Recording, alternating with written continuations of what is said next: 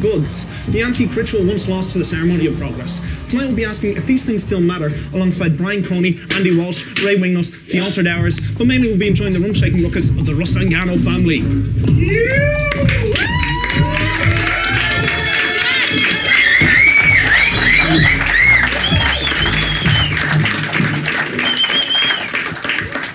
Rusangano family, I'm Danny Carroll. This is The Parlour, capturing DIY spirit and providing you an attic based insight into the world of independent music in Ireland. Coming up on tonight's show, we're going to have Brian Coney from that there Thin Air magazine, as well as Andy Walsh from them Little Gem record store and record label. As well as that, we have a wholeheartedly hypnotic performance from the Altered Hours alongside Ray the Kid A Wingnut. But to begin tonight's show, so they came here from snowy Limerick, we have the Rusangano family. I ripped up a lot of beer mats to do that. MC God knows. My name is Sean. We got Murli. Thanks, lads, for coming on to the show. Thank you. Thank you. Lads, it's been a crazy 12 months for you from releasing the Rusangano family album to supporting Snoop Dogg, Run the Jewels, doing Body and Soul. Where's your focus at the moment in 2015? Uh, what, what are you guys focusing on? Getting Snoop Dogg to support us. Yeah? That is the plan. That is the ultimate goal. Gotta reverse the order yeah, there. yeah, yeah, Give him the small dressing room this time around. Getting that kind of validation though, I mean, does that give you an itch to go bigger in what you're doing, to do more collaborations, to widen the net and, and, and you know, get more people listening to what you're doing? It must be great. Yeah, it, it is. I mean, I think it's something that we all really enjoy doing. Um, and for the next year, it's kind of, I suppose, rather than aspiring to, oh, we want to play with this person or, you know, um, kind of, I suppose, like take allegiances to other bands or other acts. We're kind of like, oh, let's actually totally do our own thing from start to finish. Yeah. So the whole thing that we're working on at the moment is we've just recently become Russ and Gano family, and that's not Rossango, that's Rossangano, because a lot of people are uh, mispronouncing it at the moment. And uh, yeah, so we're working on an album at the moment, and we are about a half a song into that. Okay, slow progress so far. But I suppose like going back to uh, first having an interest in hip hop, like you're from Ennis, you're from Shannon. Right. How did you guys uh, get an outlet for your interest in hip hop if you're growing up in those places? Um, well, it is pretty like it's a small town, Shannon. we we got a town center. Yeah, yeah, that's that's like the, the place to hang out in the, in the airport. We got Shannon Airport, which is pretty cool. I hear the airport. Um, but uh, for me, I felt like it was uh, an amazing place um, to actually not be influenced by anybody, but be influenced by everybody. I found so many different pieces of art that I was like, okay, I'll take a bit from here, a bit from here, and I didn't want to be from anywhere else but Shannon, which is weird because I'm like, I would rather be from Shannon. Okay. And I suppose in terms of you know uh, avoiding imitation of others, like at what point did you feel like you, you found your voice as a rapper, or was that always there with you from the get go? Um, that's a very good question, Danny. Man, Jesus. I tried. I tried. don't just rip up beer mats. um, it's. I think it was. I don't know. It, it sounds weird, but it's like one of those destiny moments when you meet somebody who gets what you do and where you're going. And that was when I met John because it's like I had already been messing about with what I was doing, but I had no kind of focus onto all those different sounds. And meeting John, who's like somebody who's older than me and could be like, ah, I think that that's only, only a little bit. yeah, yeah, tiny bit. Don't make man look like a Norman out here. Yeah, yeah, she's a tiny bit. Um, he's a tiny bit older than me. Awesome. well, he's um, definitely taller. but yeah, um, but hanging around with him, he showed me a lot of different influences and said, you know what, it's deeper in this way, or this is a bit shallow, or you can, do you get what I'm saying? Yeah, yeah And it yeah. kind of merged itself into like, ah, I get, I get me even, I get me even more. So, me coming from a, a bigger town, like I come from quite a big city called Limerick. So it was a it was a different thing. I never look at myself as just a rapper. I I, I love music. It, it, doesn't matter what shape or form it comes in. I love music. So I think I always try to look beyond the MCing part of it. So uh, that's why I never restricted myself to being a one particular type of MC. I was uh, I'm a musician who doesn't play any instrument as such, but my instrument is here. So whatever I can do with this, I focused on that. So I think that's where I found the artist that I am today. Now you never know what I could become tomorrow. I'm still working on it. Okay. And for Rusangano family, you've described it, John, before as community music. Like, is there a central message or ambition you have for the collective that you're trying to get across to people? Um, yeah, well, I suppose uh, we have a new track which is coming pretty soon. You're all about to hear it in a few minutes, um, and it's uh, it's something that's really close to our hearts. Like we based it on philosophy, and a lot of the time when we're talking in the car, we have very deep philosophical chats on the way up and the way down. Sometimes we even get lost on purpose. Yeah, so we can delay the journey. But there was one conversation that we had, and we were kind of because like we're all into you know like our philosophy and talking about society, and I suppose just questioning things. And there was one particularly deep conversation that we had, and we could basically condense down all philosophy and all sociology, and we basically put it into like two lines, and one was like, uh, "Don't be a waste man, just be a good human." That was it. I don't think I can give it any more of a better introduction. Let's hear Rusangano family with Wasteman.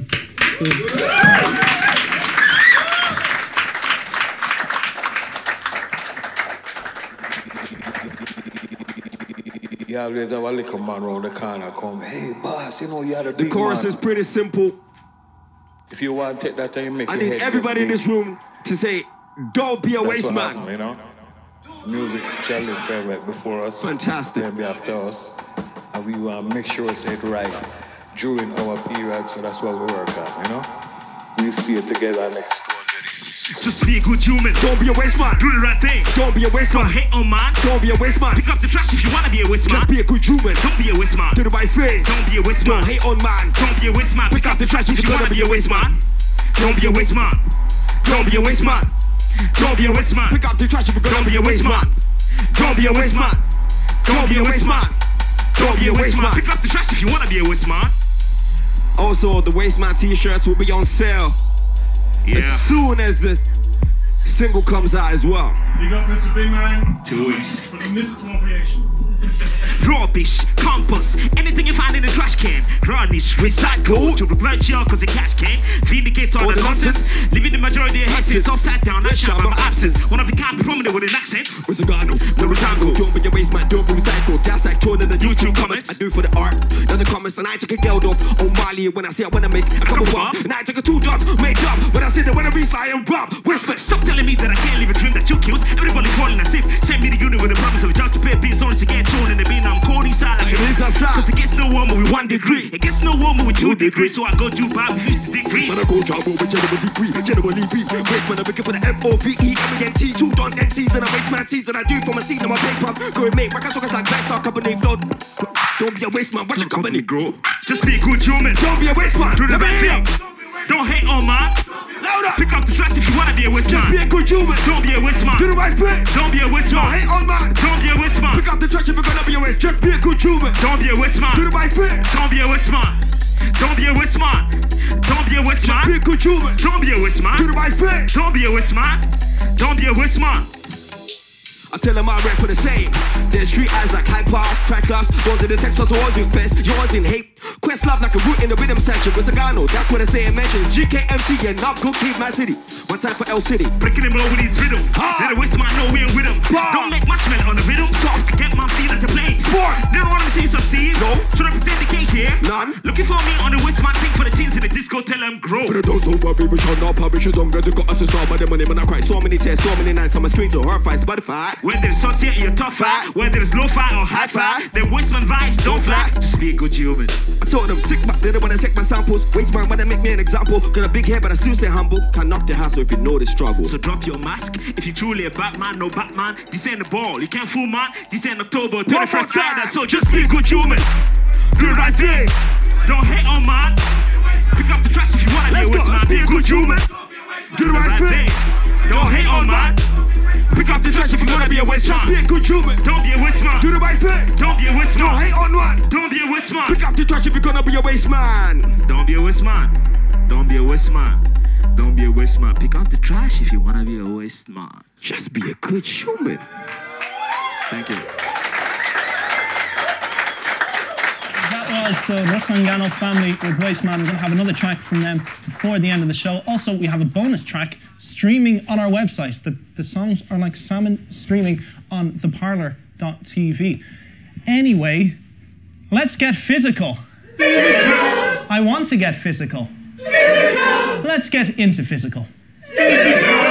Those, of course, being the zeitgeist capturing words of Olivia Newton John from 1981, sung at a time when music industry manufacturing was at an all time high. Vinyl sales and manufacturing was an all time high. And indeed, the biggest threat to the music industry at that time was the scourge of home taping. Now, two men sitting right next to me here who have a similar spandex stretching enthusiasm for the physical products are Brian Coney of Thin Air Magazine, Andy Walsh of Little Gem Record Store and Record Label. Thanks very much for being on the show, guys. Thanks for having us. Brian, if we could start by asking yourself, um, you were previously involved with AU Magazine. Yes. And then, I suppose, I think on May the 2nd, 2013, you would have set up Thin Air Magazine, I see. as I understand it. Indeed. Um, I suppose, starting up uh, a magazine, were you definite about wanting to make it physical and have a physical reason? Uh, not at all. Uh, it, the, the website basically came about because I was sad that AU had ended and I wanted to continue in some sort of capacity writing about music and stuff because it didn't contribute elsewhere, apart from Across the Line, which is in Belfast, it's the BBC thing. So basically, contributors from AU magazine decided to meet up in a bar in Belfast. There was obviously different people in Dublin and Cork, etc. But we met up and it became a website, and then a year and a half later, it became a magazine, physical. Uh, and going forward, I suppose the physical approach with a magazine, do you find that the contributors up their game a bit because maybe the magazine in physical form has more validity? You know, they're, they're more of a voice of authority then. Absolutely. I mean, you think of how many magazines, music and culture magazines, is there in the country, and you think how many music and culture websites are. There's, there's always more websites. So I, I, I suppose I have noticed um, both the editors, myself and Lorena, uh, have noticed that there is definitely better content flowing, uh, like salmon through the sea, into the magazine. and, and long may they continue Uh, here's that stream. I'd like to think so. Andy, if I could come to yourself, uh, starting up Little Gem Record Store on the 4th of December 2014. Well remembered. what prompted you to start, I suppose, a, a local independent record store? um, we just felt like Dublin needed it. We had uh, Elastic Witch on Abbey Street that Gib had gone for a couple of years, which is great. Um, he closed his doors in April 20th, 2014. Very, like, I mean, Close, people could watch this back and just get complete reference points for an historical essay. so since Gib was gone, there was pretty much nothing on the north side. I mean, Tower was on. Uh, they moved onto Dawson Street. There was a HMV, I think, had closed, and then they reopened recently on Henry Street. But as for supporting independent bands, not just from Ireland, but uh, particularly from Ireland, but from all over, there was nothing. So if you wanted to get something, I suppose you'd have to go online and buy it. Mm, takes a while to get here. It's more expensive. You don't have much choice. For sure. I mean, is it difficult to be financially viable when you're so focused on supporting local acts? I mean, it is a great cause, and I think everyone here, you know, thinks you're doing great work. But Yeah, obviously, in order in order to sustain itself, can that be a tricky balance? Uh, it's not financially viable at the moment. Uh, we're making a loss and we're paying the bands on the sales, which is better than any of the other record stores do, which is great. Um, we're giving our time and our effort and all the rest to it, but uh, we're not really making any money. Well, I suppose like looking at the products themselves, though, they do provide certainly a, again a more of a definite document of what people are doing, and that's something that you've really focused on. If I you could tell us a little bit about. If you, if you like an album, go buy it. You know, like you know, people stopped buying albums. People go on Spotify and go on YouTube, and like that's great. But what if your song gets taken down? You know, like what you know, I'll send you a link. What's a link? You know, you got to hold it in your hand if you really love it. You know, Show that, us, that's me, but that's a lot of show people. us some as of the things you brought in. Show us a little gem. Yeah, Explain this this technology you're we, pioneering. we invented this little gem player to go for stuff that we're bringing out on our record label, Little Gem Records, which is the shop as well. It's pretty much a little cassette with uh, artwork and everything specific for your. There you go. It's got a little switch on the side. Light comes on. You put your headphones in. There's a play and a pause and a volume. So we put out an album on one of these. It's most- pretty great Portable listening device possible, basically. quality is amazing and it means we can do small runs of them which the big killer at the moment for bands independent bands if they want to get a record pressed you got to get like 250 or 300 pressed which is great but you know you're probably not going to sell them all within enough time to put out another one. There, there you go. So you know. Um, what's planned for the future for you guys, um, both with Thin Air and Little Gem? You go first. Yeah, we're looking at doing something together, maybe putting on some gigs together and doing some cool stuff together. Um, we've got loads more releases coming out on Little Gem Records. Um, we're putting out stuff that's already been put out that wasn't on a physical format as well. Um, some a really great band called Heartsick Groans from Sweden. They're a pop band. They're fantastic. They've had I think four or five EPs in the last five years, and we're going to do a best of the Heartsick Groans on a Little Gem because they've done them all on online as Bandcamp, or whatever, which is great. But Yeah, going it's a back nice to the way of collating things and making it tangible. yeah, the other thing about fetishizing and the thing about collecting your magazines, like mm-hmm. you're probably going to miss your magazines in 20 years because the thing is, there's a website is there, but it's not going to be there forever. And even if it is, you know, it's a screen, it's your computer. Uh, a magazine or a record, you know, you can give that to your kids. You know, It's that'll like be keeping a diary, isn't it? Like people You'll regret have it forever. It's a really great thing. That's true. I might start again. Thanks. We'll have to end it on that cliffhanger of whether you're going to start collecting again or not. Yeah, sure. Lads, Andy, Brian, thanks very much for coming on the show. Thanks for having us. Thank you. Now, in this particular moment, we're going to enjoy a time-bending performance from the Altered Hours. They being a Cork quintet, currently finishing their debut album, they played in Whelan's recently enough, and Ray Wingnut was there to meet them. Let's have a look. How's it going? I'm Ray Wingnut and I am here in this lovely small little snug weird enclosed room in Whelan's with Cathal MacGabhann and Kevin Terry from the band Altered Hours. How's it going lads? Very well. So you were a four piece, now you're a five piece. And uh, like you're, you're based in Cork and I suppose you would have a reputation as being a Cork band. Yeah. But you're not all from Cork, no. No. Are any of us from Cork actually? None of None us. None of us are actually from Cork. Excellent. Yeah. So listen, We all you- just live in Cork, you know, it's Yeah. just where we went to try and probably just play music and go to whatever people went to college and stuff like that. Good stuff. And of course, I think you like you know over like you've had a colourful history over let's say the four years of your existence, like you know what I mean. And I think one of the most interesting things that you did, like you broke new ground, I think, within Cork City, in the sense that you uh, you founded the Sample Studios rehearsal space. Yeah, well, we were part of it. You know, Yeah. there was a there was a we, uh, we formed a collective with a few people and another band called uh, Trumpets of Jericho, who are, Yeah. who don't don't play it together anymore. But yeah, we we just needed a practice space really, and there was this huge empty ex tax office which just seemed perfect. So someone got the keys to it, and we were kind of in there for like three months, unofficially, which was kind of good fun. And then we kind of had to set up a thing and pay a certain amount of rent to the construction company who owned it. And yeah, it was really good. We were there for like two and a half years. I think it actually formed the band that because we just won space for the first time. That was ours.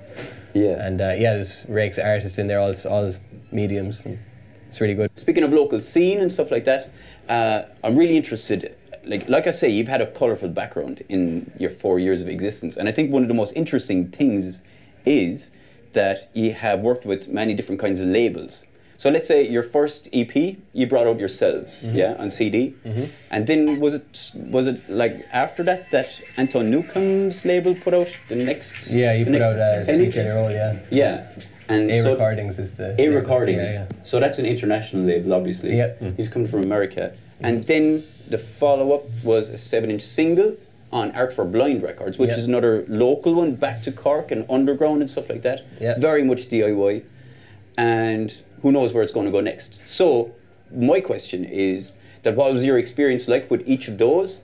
And going forward, what do you think is your best experience of a label? Or, you Okay. know, Yeah, like putting it out yourself was like really easy and like small, and then suddenly we, we were put out on A recordings, which was just like, like.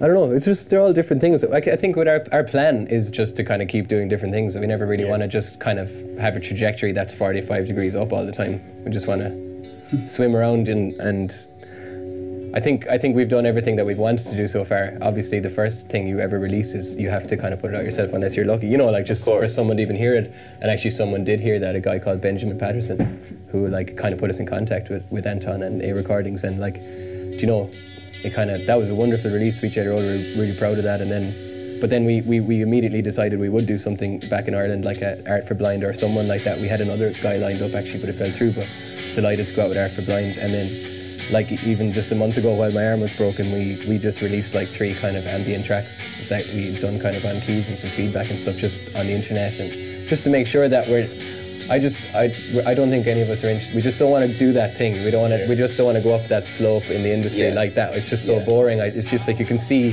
You can even watch a band and you just see it. It kind of just jades you. Like you're just they're just like please, please get us up on that other level, please. You know, or you, Yeah. there's that feeling. And I just, you know, sometimes I have that feeling because everyone wants to do well in a way. But you know, I really want to swim around, widen the experience, not just go up. You know, do you get what I mean? Yeah. With our music also, like you know, Yeah. hopefully, you know, I mean, we're only in the process of that, so it's not like we're. I'm not saying that we're ex- succeeding at that, but that's what we're aiming to do within Yeah, that of realm course, of things. yeah. You know, if you, you know, Yeah, and I mean, like, I mean, like you said to me before, you said uh, we were talking about live situations, and you said that I'd love to play, I'd love to busk on the street, and I'd love to play Wembley Stadium all in the one day, you know. And like that's that's an amazing thing. That's just, like that is the noise coming from like an inspired and a fulfilled musician, like you know what I mean. But like, is it difficult to let's say see yourself as a full-time musician and kind of avoid that kind of frustration or that thing of like you need to survive as a musician as well. Like, you know, what I mean? You- like like are you, are you ambitious like that or do you or like where do you kind of draw that balance? You know, what I mean, of having ambition and not getting frustrated. We're, amb- we're ambitious musically, but I don't think any of us are careerists, really. Yeah, You that's know, it's true. just we want to get better at making music for ourselves, you know? and connect to people who, Yeah, are, yeah. who feel like we do. Yeah. You know, that's the main objective. Is that if the song feels strong enough to bring to the band, Yeah. and we work on it and we record it and we release it, all we want to do is get back to the same people that felt like us when we wrote the song. Yeah. You get what I mean? Yeah. That's that's the interest. And kind of what you were saying about um, busking and then playing in Sorry. Wimbledon? Wem- Wembley. Wembley, right. Wimbledon. Wimbledon would be good too. But it's, uh, you know, I think one thing I feel really lucky about, lucky about is that we're a band that can play really small, crappy punk venues and then kind of bigger, fancier places. We played um, Cork Opera House, which is very different to a shitty DIY space. But to be able to do both is like really, really cool. And the music works in both places, you know? Yeah.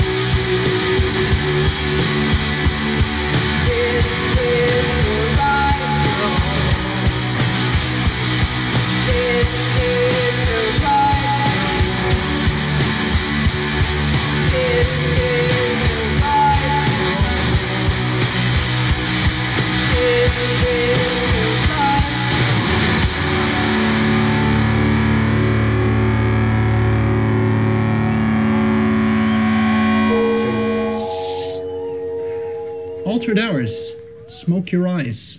They were speaking to Ray Wingnut a mere moment ago.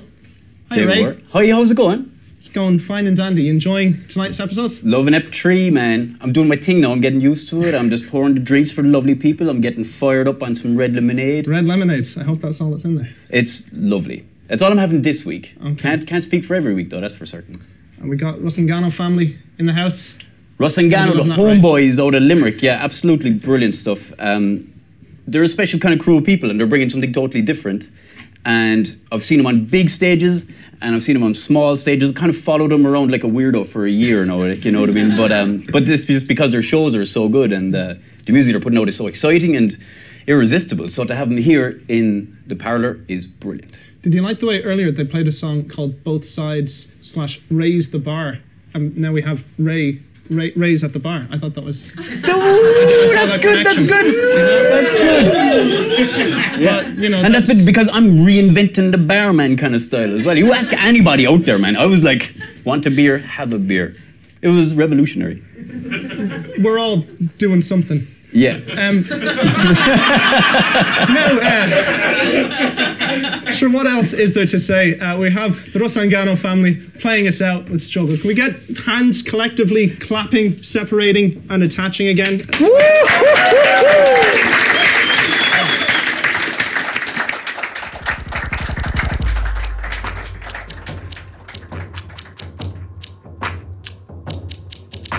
Wisangano, na Risango, Wisangano, na Risango, Wisangano, na Risango, Wisangano, na Risango, Wisangano, na Risango, Wisangano, na Risango, Wisangano, na Risango, Wisangano, na Risango, Wisangano, na Risango, Wisangano, na Risango, Wisangano, na Risango, Wisangano, na Risango.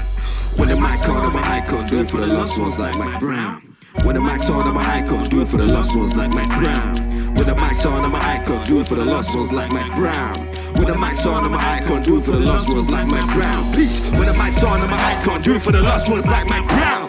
When the mic's on, I'm an icon, do it for the lost ones like Mike Brown. When the mic's on, I'm an icon, do it for the lost ones like Mike Brown. When the mic's on, I'm an icon, do it for the lost ones like Mike Brown. Peace. Struggle.